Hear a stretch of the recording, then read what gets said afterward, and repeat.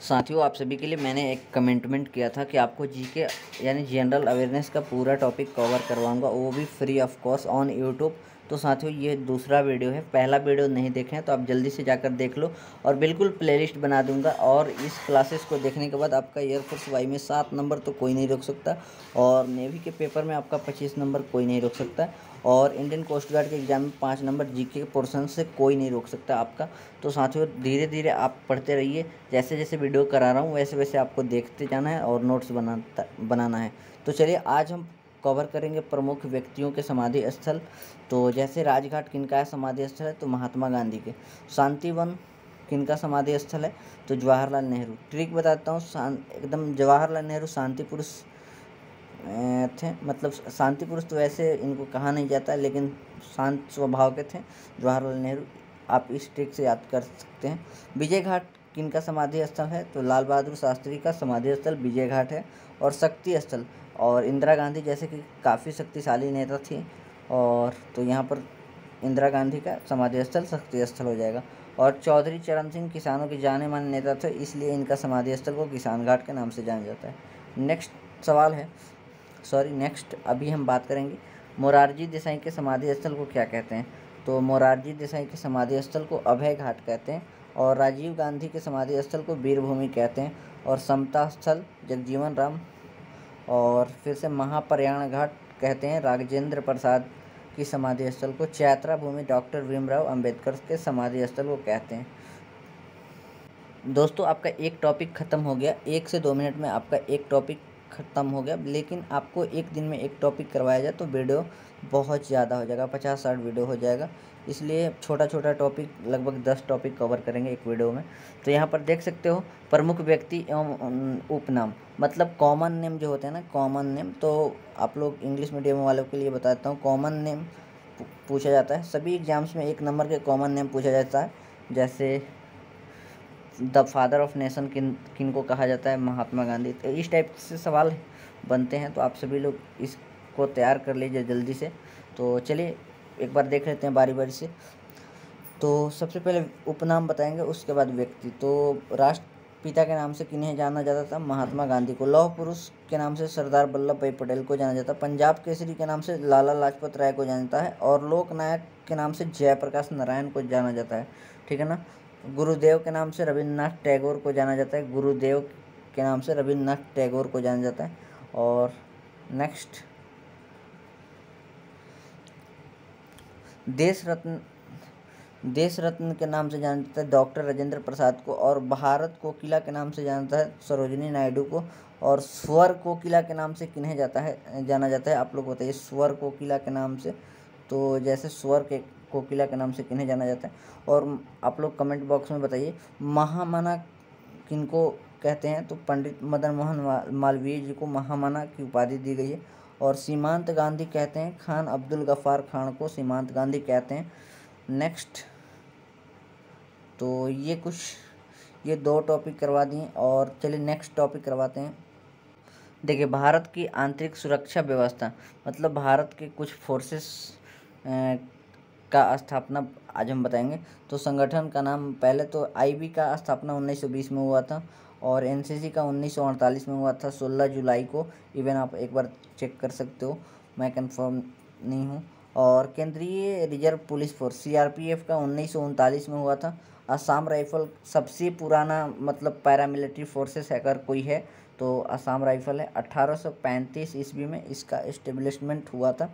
और सीबीआई का उन्नीस ईस्वी में सीबीआई की स्थापना की गई थी। आईटीबीपी की स्थापना उन्नीस सौ बासठ में किया गया था। आईटीबीपी की स्थापना उन्नीस सौ बासठ में और होम गार्ड की स्थापना उन्नीस सौ बासठ में। आईटीबीपी और होम गार्ड की स्थापना उन्नीस सौ बासठ में किया गया था। आप लोग ध्यान रखिएगा। और बीएसएफ के उन्नीस सौ पैंसठ में बीएसएफ का और सीआईएसएफ का उन्नीस सौ उनहत्तर में और आईसीजी इंडियन कोस्ट गार्ड उन्नीस सौ अठहत्तर में किया गया था। और एनएसजी नेशनल सिक्योरिटी गार्ड राष्ट्रीय सुरक्षा गार्ड उन्नीस सौ चौरासी ईस्वी में और R F rapid action force उन्नीस सौ बानवे ईस्वी में। तो ये हैं दो टॉपिक अभी तीन टॉपिक अभी हो गया। अभी नेक्स्ट टॉपिक पर आते हैं। विश्व के प्रमुख देशों के संसद के नाम। तो कुछ देश हैं और उनके संसद के क्या, क्या नाम है ये देखेंगे। तो ये बहुत ही इंपॉर्टेंट है इससे भी सवाल पूछे जाते हैं। तो चलिए देख लेते हैं। भारत के संसद को क्या कहते हैं? तो संसद ही कहते हैं। मिस्र के संसद को पीपुल्स असेंबली कहते हैं। नेपाल के संसद को राष्ट्रीय पंचायत कहते हैं। पाकिस्तान के संसद को नेशनल असेंबली कहते हैं। रूस के संसद को ड्यूमा कहते हैं और ब्रिटेन के संसद को पार्लियामेंट कहते हैं। ठीक है ना साथियों? ब्रिटेन के संसद को पार्लियामेंट कहते हैं और चीन के संसद को नेशनल पीपुल्स कांग्रेस कहते हैं। जर्मनी का बुंडस्टेग कहा जाता है, फ्रांस का नेशनल असेंबली। याद रखिएगा, फ्रांस और पाकिस्तान का सेम होता है, नेशनल असेंबली। संयुक्त राज्य अमेरिका का कांग्रेस होता है, ठीक है ना? ईरान का मजलिस होता है, बांग्लादेश का जातीय संसद। यहाँ पर देख लीजिए, संसद नहीं संसद होता है संसद कहीं कहीं आपको ये भी देखा, देखने को मिल जाएगा तो आप लोग कन्फ्यूज़ मत होइएगा, ठीक है ना? नेक्स्ट तो यहाँ पर कुछ नोट लिखा गया है जैसे ढिंग एक्सप्रेस किन को कहते हैं हिमा दास को कहते हैं असम की हैं और भूटान के संसद को तसंगड़ू कहते हैं इजराइल के संसद को नेसेट कहते हैं अफ़गानिस्तान के संसद को सोरा कहते हैं जापान के संसद को डाइट कहते हैं स्विट्जरलैंड के संसद को फेडरल असेंबली कहते हैं ठीक है ना तुर्की के संसद को क्या कहते हैं ग्रैंड नेशनल असेंबली तुर्की के संसद को कहते हैं ऑस्ट्रेलिया के संसद को पार्लियामेंट कहते हैं और कनाडा के संसद को पार्लियामेंट कहते हैं। साथियों, ये जितने भी क्लासेस मैं आपको करवा रहा हूँ, आप डेली देखिए क्लास को और इस क्लासेस से एक भी क्वेश्चन बाहर नहीं जाएगा, ये वादा है आप सभी के साथ। और साथियों, ये क्लासेस बहुत ही इंपॉर्टेंट है आप सभी के लिए और ये अगर आप करते हैं इस क्लासेस को डेली बेसिस पर तो आपका एक क्वेश्चंस भी नहीं छूटेगा। सारा क्वेश्चंस आपका कवर हो जाएगा। तो ठीक है ना? अभी स्टार्ट करते हैं नया टॉपिक फिर से। महत्वपूर्ण खेलों में प्रत्येक खिलाड़ियों की संख्या। यहाँ पर देख सकते हैं खेल में कितने खिलाड़ी होते हैं। पहले बात करेंगे, सबसे पहले यहाँ पर देख सकते हो। बैडमिंटन। बैडमिंटन में एक से दो खिलाड़ी होते हैं। बेसबॉल में नौ खिलाड़ी होते हैं। और क्रिकेट में ग्यारह खिलाड़ी होते हैं, सबको पता है। Cricket H C F hockey cricket और फुटबॉल। कितने होते हैं? तीनों में ग्यारह खिलाड़ी होते हैं, ठीक है ना? और फुटबॉल में भी ग्यारह।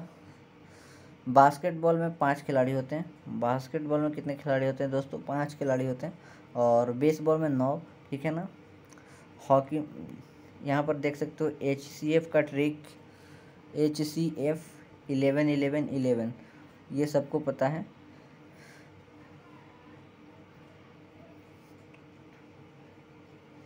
नेक्स्ट अब बात करेंगे। पोलो में कितने खिलाड़ी होते हैं? पोलो में चार खिलाड़ी होते हैं। आप सभी को पता है।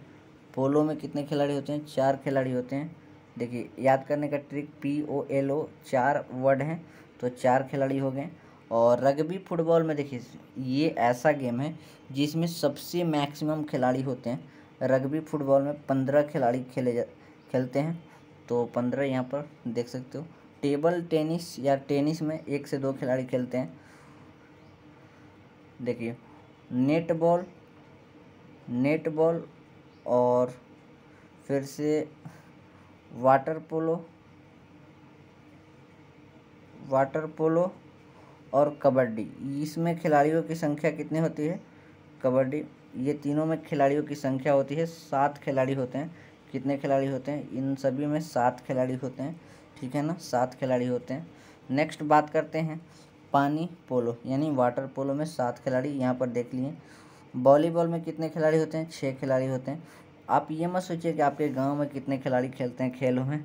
तो वैसे तो आप ज़्यादा भी खेल सकते हो, कम भी खेल सकते हो, क्योंकि एक दो खिलाड़ी की कमी से खेल नहीं रुकता है और ज़्यादा भी हो जाए तो अरेंज कर लेते हैं गाँव में। बट यहाँ पर जो है नियम क्या है, वो चीज़ को यहाँ पर समझना है, ठीक है ना? तो ये हम लोगों ने देखा। महत्वपूर्ण खेलों में प्रत्येक पक्ष में कितने खिलाड़ियों की संख्या होती है। दोस्तों, एक और अच्छा टॉपिक है, बहुत ही इम्पोर्टेंट है। यहाँ पर देख सकते हो, प्रमुख देशों के प्रमुख खेल। मतलब जो नेशनल गेम होते हैं ना, जो कंट्री एंड नेशनल गेम होते हैं, वो चीज़ मैं अभी देखूँगा। तो अभी यहाँ पर देख सकते हो, संयुक्त राष्ट्र अमेरिका का बेसबॉल होता है, ठीक है? इंग्लैंड का क्रिकेट होता है और क्रिकेट किसका किसका होता है? और इंग्लैंड, ऑस्ट्रेलिया का क्रिकेट हो गया, ठीक है? और जापान का जूडे होता है, याद रख लेना। और स्पेन का बुल फाइटिंग, यानी सांड युद्ध नेक्स्ट आइस हॉकी किसका होता है? तो कनाडा का आइस हॉकी होता है। नेक्स्ट, रूस का क्या होता है? फुटबॉल होता है रूस का। और मलेशिया का बैडमिंटन होता है, ठीक है ना? चीन का टेबल टेनिस होता है। और भारत और पाकिस्तान का हॉकी होता है, क्या है? भारत, पाकिस्तान का, दोनों का क्या होता है दोस्तों? हॉकी होता है और ब्राज़ील का फुटबॉल होता है। रसिया और ब्राज़ील का फुटबॉल होता है, ठीक है ना? तो ये देखें हम लोग कुछ महत्वपूर्ण देशों के महत्वपूर्ण खेल, ठीक है? नेक्स्ट नेक्स्ट टॉपिक है। ये भी टॉपिक काफ़ी इम्पोर्टेंट है कि आप लोग देख लीजिए। मतलब खेल मैदान, यानी परिसर, किस कहाँ पर कौन से खेल खेले जाते हैं? जैसे एथलेटिक्स है ट्रैक पर खेले जाते हैं, बैडमिंटन कोर्ट में खेले जाते हैं, बेसबॉल जो है डायमंड में खेले जाते हैं, बॉक्सिंग रिंग में खेले जाते हैं, क्रिकेट जो है पिच पर खेले जाते हैं, फुटबॉल फ़ील्ड में खेला जाता है, गोल्फ कोर्स में खेला जाता है और हैंडबॉल जो है कोर्ट में खेला जाता है, हॉकी जो है फ़ील्ड में खेला जाता है। तो फुटबॉल और हॉकी ये फ़ील्ड में खेला जाता है, आइस हॉकी रिंग में खेला जाता है, लॉन टेनिस लॉन टेनिस ही होगा यहाँ पर। नीस कोर्ट में खेला जाता है और स्केटिंग जो है ना, स्कैटिंग रिंग में खेला जाता है और रेसलिंग जो है रिंग में खेला जाता है या एरी, एरिना में खेला जाता है। चलिए नेक्स्ट देखेंगे नेक्स्ट टॉपिक नेक्स्ट टॉपिक से भी बहुत ही इम्पोर्टेंट क्वेश्चंस बनते हैं। जैसे यहाँ पर क्वेश्चंस बन सकते हैं। बनते ही हैं ऑलरेडी सभी एग्ज़ाम्स में क्वेश्चंस पूछे गए हैं। प्रमुख राष्ट्रीय कप, जो नेशनल कप्स हैं, और कौन कौन सी? ट्रॉफियाँ हैं, जो किस किस खेलों में दी जाती है। तो प्रमुख तो कप एंड ट्रॉफी अभी देखेंगे, गेम, कप एंड ट्रॉफी। तो चलिए, स्टार्ट करते हैं। हॉकी जो खेल है, हॉकी में कौन कौन से पुरस्कार मिलते हैं खिलाड़ियों को? तो अजलान शाह कप, ये इम्पोर्टेंट है। ध्यानचंद ट्रॉफी और आगा खान कप। और हॉकी विश्व कप, ये तो इम्पोर्टेंट है और चलिए बात करते हैं, फुटबॉल में कौन कौन से ट्रॉफी दिए जाते हैं? तो दुरंड कप, फिर से आपका। रोवर्स कप और संतोष कप। फिर से यहाँ पर देख सकते हो Merdeka cup, FIFA cup FIFA विश्व कप है, ठीक है ना? लॉन टेनिस लॉन टेनिस में कौन कौन से कप दिए जाते हैं? और दोस्तों, एक सुब्रतो कप भी मतलब फुटबॉल में ही होता है, ठीक है ना? लॉन टेनिस में Davis cup, Wimbledon cup, Australian open, US open और फ्रेंच ओपन, जितने भी ओपन हैं, लॉन टेनिस के क्षेत्र में दिए जाते हैं, ठीक है ना? और ये साथ में डेविस कप भी है और टेबल टेनिस में स्वेथलिंग कप और बैरला ब्लैक कप दिया जाता है। थोड़ा अटपटा है, आप लोग ध्यान रखिएगा। बास्केटबॉल में कौन से ट्रॉफी दिए जाते हैं? तो फीफा बास्केटबॉल विश्व कप, ये तो मिलता ही है। और लैटी ओ ब्राइन चैम्पियनशिप ट्रॉफी मिलता है।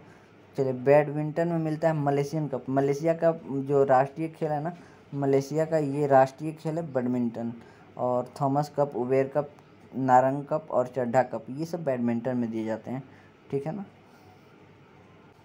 और भी कुछ पुरस्कार हैं तो ये चीज़ें जो है, कितने, कौन से पुरस्कार में कितना क्या क्या दिया जाता है तो ये बहुत पुराना बुक का पीडीएफ है तो ये अपडेट हो गया तो मैं करेंट अफेयर जब कराऊँगा तो ये चीज़ें कराऊँगा, बाकी अभी देखिए, करेंट में राज, अभी राज राजधानी भी कहेंगे लड़के कि राज राजधानी भैया कौन कराता है?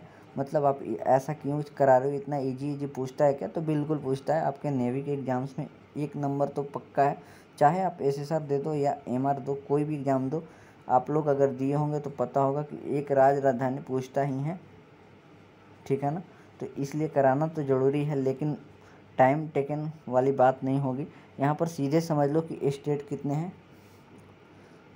तो कुछ लोग कहेंगे कि अट्ठाईस है और कुछ लोग कहेंगे उनतीस है। बात है किसका सही होगा? तो सही किन का है? तो आप लोग आप लोग बताइए किन का सही है। तो पहले उनतीस राज था। मैं मानता हूँ पहले उनतीस राज था बट जम्मू कश्मीर को यूनियन टेरेटरी बना दिया गया, ठीक है ना? तो अभी कितने राज हो गए? सॉरी पहले उनतीस राज था और अभी देखिए, अट्ठाईस राज हो गया एक जो जम्मू कश्मीर है ना, उसको यूनियन टेरेटरी बना दिया गया। तो अभी स्टेट की संख्या कितनी है दोस्तों? अट्ठाईस स्टेट है और फिर से यूनियन टेरेटरी कितना है? केंद्र शासित प्रदेश कितना है? केंद्र शासित प्रदेश यूनियन टेरेटरी केंद्र शासित प्रदेशों की संख्या देखिए। पहला था, जैसे पहले सात केंद्र शासित था, फिर बनाया गया जम्मू, कश्मीर और लद्दाख। तो जम्मू कश्मीर और लद्दाख को बनाया गया तो फिर नौ हो गया। नौ हो गया तो अभी कुछ लोग कहेंगे कि नौ केंद्र शासित प्रदेश हो गया, लेकिन बिल्कुल नहीं, ये भी गलत हो जाएगा। देखिए दोस्तों, दमन एवं दीव, दमन एवं दीव और दादरा दादरा एवं नगर हवेली को मर्ज कर दिया गया।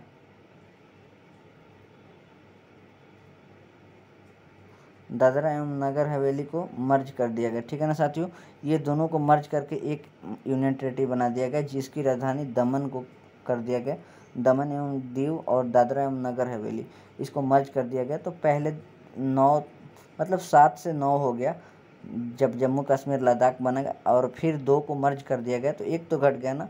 तो अभी फ़िलहाल में यूनियन टेरेटरी कितने हैं? यूनियन टेरेटरी कितने हैं भाई? यूनियन टेरेटरी आठ हैं, और स्टेट कितने हैं? स्टेट हैं ट्वेंटी एट। आप लोग याद रखिएगा, इतना अच्छा कौन बताएगा भाई? इतना मतलब समझाना और बिना बोर्ड पर इतना समझा दे रहा हूँ तो थोड़ी मेहनत तो लग रही है। आप लोग जमकर शेयर कीजिए और चैनल पर नए हैं तो सब्सक्राइब ज़रूर कर लीजिए। और बात है कि ये क्लासेस अगर, देखिए इजी है, मानता हूँ लेवल इजी है बट आपके एग्ज़ाम्स में इजी ही पूछते हैं, ठीक है ना? तो आप बिल्कुल अच्छे से एकदम केयरफुली इस क्लास को दो बार, तीन बार, जितना बार हो सके रिवीजन कीजिए। और बिल्कुल पीडीएफ पाने के लिए अगर आप चाहते हैं कि पीडीएफ आपको मिल जाए तो ये पीडीएफ आपको फ्री ऑफ़ कॉस्ट है। और कहाँ मिलेगा? तो ये टेलीग्राम ग्रुप में मिल जाएगा, ठीक है ना? यहाँ पर देख सकते हो केंद्र शासित प्रदेश भी अपडेट कर दिया गया और बाकी यहाँ पर मतलब जो भी है अपडेटेड पीडीएफ है। ये देखिए, यहाँ पर जम्मू कश्मीर था तो यहाँ पर डिलीट कर दिया गया डिलीट कर दिया गया और ये बिल्कुल अपडेटेड पीडीएफ है। यहाँ पर अट्ठाईस राज हैं। और अट्ठाईस राजधानी दी हुई है। और साथ ही साथ यहाँ पर देख सकते हो, आठ केंद्र शासित प्रदेश हैं। आठ केंद्र शासित प्रदेश हैं और आठ केंद्र शासित प्रदेशों की राजधानियाँ हैं। ठीक है नेक्स्ट टॉपिक पर आते हैं। चलिए एक और छोटा सा टॉपिक कवर करेंगे। तो यहाँ पर देख सकते हैं प्रमुख सीमाएँ। बाउंड्रीज को देखेंगे। मैकमोहन लाइन भारत और चीन के बीच सीमा बनाती है। रेड क्लिफ जो है भारत पाकिस्तान मैगीनाट जो रेखा है, फ्रांस और जर्मनी के बीच। निस रेखा ऑर्डर निस रेखा जो है, जर्मनी और पोलैंड के बीच सीमा बनाती है और अड़तीसवीं पैरलर जो लाइन है, उत्तर और उत्तरी कोरिया और दक्षिणी कोरिया के बीच संबंध बनाती है। उनचासवीं पैरल लाइन जो है, संयुक्त राष्ट्र अमेरिका और कनाडा के बीच सीमाएँ बनाती है। और साथ ही साथ यहाँ पर बात करें, डूरंड रेखा किन के किन के बीच सीमा बनाती है? तो डूरंड रेखा किन के किन के बीच सीमा बनाती है? आप लोग कमेंट करके बताइए और चलिए नेक्स्ट टॉपिक पर आते हैं। दोस्तों, यहाँ पर देख सकते हो, अब जो भी टॉपिक्स हैं बड़े बड़े टॉपिक्स हैं तो इस वीडियो में कराना पॉसिबल तो नहीं है, बट होप आप पे आशा रखिए कि आपको जो भी है बिल्कुल अच्छे तरीके से करवाया जाएगा। बहुत ही मतलब मजबूती से पीडीएफ को बनाया गया। और इतना अगर करवा देता हूँ, आप लोग एकदम अंत तक बने रहें और कर लेते हैं तो आपका कोई भी एग्ज़ाम में एक भी सवाल नहीं जाएगा खासकर डिफेंस के एग्ज़ाम में। तो ये सब सवाल बिल्कुल जनरली पूछे जाते हैं, ठीक है ना साथियों? तो साथियों आप सभी से रिक्वेस्ट करूँगा कि साथियों, इस वीडियो को ज़्यादा से ज़्यादा शेयर कीजिए। और चैनल पर नए हैं तो प्लीज़ सब्सक्राइब कर ही सकते हो। और बाकी क्या बोलूँ दोस्तों? वीडियो बनाने में थोड़ा सा मेहनत लगता है तो आप बिल्कुल आप सपोर्ट करिए। और चलिए, आशा करता हूँ ये क्लास सेकंड कैसी लगी, आप लोग ज़रूर प्रतिक्रिया दीजिएगा कमेंट बॉक्स में। और ठीक है, क्लास थर्ड कल आएगी। सेम टाइम आठ बजे रात को मतलब डेली क्लासेस चल रही है तो आप लोग बिल्कुल जोड़ना ना भूलें। नेवीपुर एकेडमी यूट्यूब चैनल पर। बिल्कुल आपसे भी अपने दोस्तों को भी बताइए। ठीक है ना साथियों? चलिए मिलता हूँ नेक्स्ट अपडेट के साथ। तब तक के लिए जय हिंद, जय भारत, वंदे मातरम।